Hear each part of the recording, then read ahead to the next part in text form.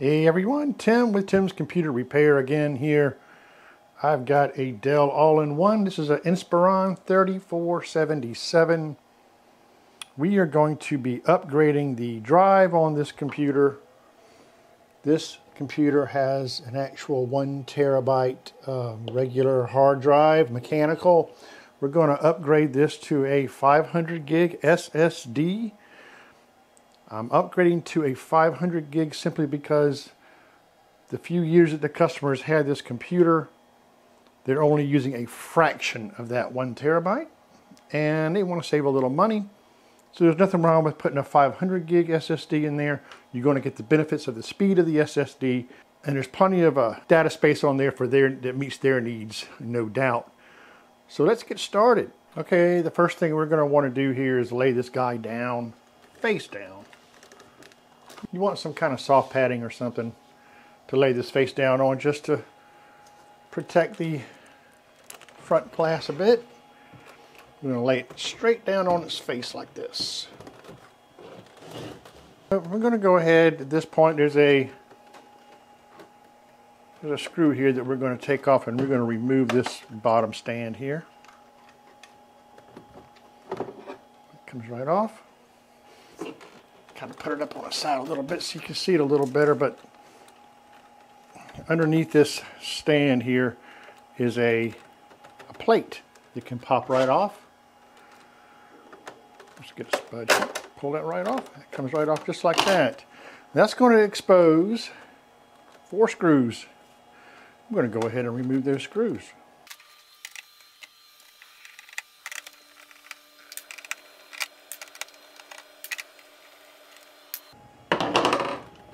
At that point, our little kickstand there comes right off. At this point, it's kind of shown here in a little bit of a diagram that simply just pry up on this. Now I don't know why other all-in-one makers, HP, I'm not going to mention names, don't make that just as easy as that. All right, let's continue to pop this off here. There we go. I mean, look how easy that was, right? I mean, thanks, Dell. Made that so easy to do. No problem. Other models or other manufacturers just completely make removing that back panel a nightmare. Not so for Dell, so good on Dell for that. Now, that of course exposes our hard drive. Easy to upgrade your drive on this model HP. Take out the screw. Slide the drive right out. And now we can uh, go ahead and swap this out from this point, we can just remove this drive from here. There's four screws.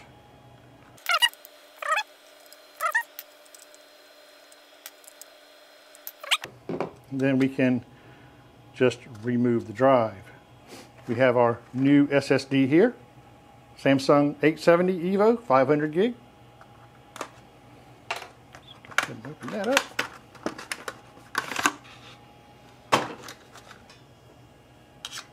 Put that back into the caddy. Now it might be a little thinner than the original one you had in there, but that's okay. Line up the holes.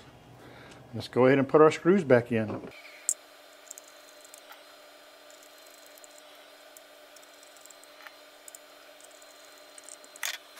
And there's that. Now we just simply slide our new drive back into place like that. Make sure the connections are, are made there. You can miss those sometimes and think you're in, but you're not. So be sure it fits snugly in there. We can go ahead and put our screw back in here. And then we can put our cover back on. Now, what I'm going to do before I go clamping all this down, I'm actually going to uh, flip it over. I'm going to plug it in here. I'm going to plug a keyboard in. I'm going to flip this over where I can see the screen and this will hang off the edge of the table so I'm not resting on these connections here. So, and I want to be able to make sure that this computer sees that drive before I button all this up. All right, got these plugged in here. Let's go ahead and just gently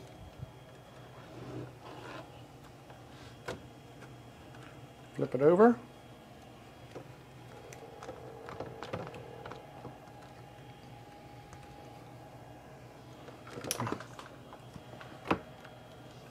Hang that off the edge of the table so we don't rest on it. So I'm basically resting this on the edge of the table down here in my connections. They're not resting on those connections. So I don't want to do any damage to them. So then what I'm going to do right now is I'm going to boot this up real quick into a Windows and see if um, see if it makes sure it sees the drive. Okay, I'm going to fire this up. Press an F12 here, of course, for Dell. And we're going to boot up to the USB shown there. And let's just go through the steps, the process of acting like we're going to install Windows so we can make sure that that drive is being seen. Okay, we'll accept. Next. Custom install, and there is our drive. So we now know that our drive is going to be seen. I'm going to just power this, simply power this off. Yep, you just go ahead now and just snap everything back on. All the way around, snap, snap it up.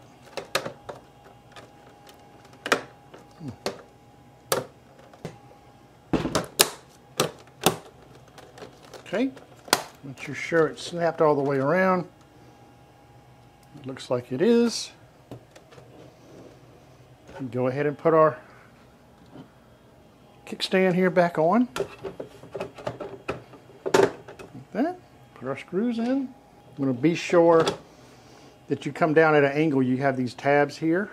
You want to be sure you would come down at a proper angle to get those tabs underneath the metal.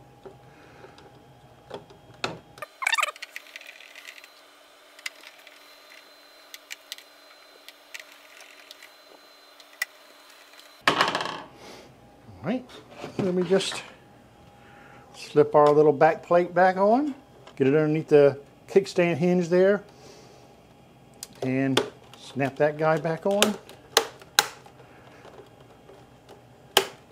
There we go.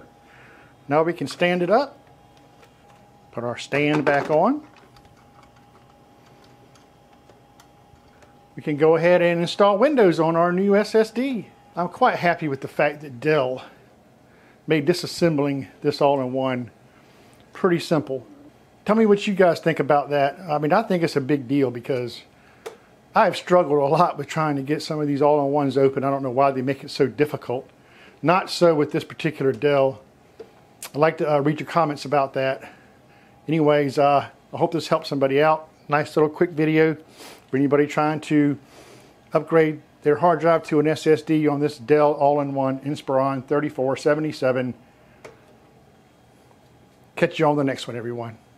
Hey, if you enjoyed this video, why don't you head right down below here, hit that like button, subscribe to my channel. That would be really awesome. I have much more computer repair videos coming your way. There's also a bell you can click for to get notifications for my videos. I really appreciate everybody's support. And as usual, everyone, until next time, See you soon.